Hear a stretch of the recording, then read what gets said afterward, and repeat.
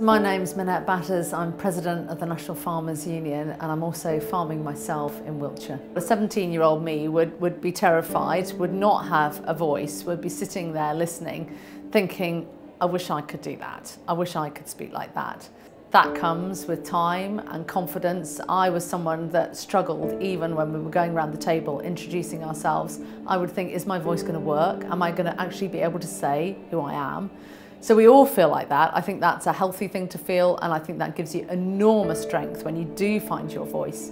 So don't be worried if you're nervous. I certainly was, age 17, I didn't have a voice and I learnt uh, to find that voice and use it.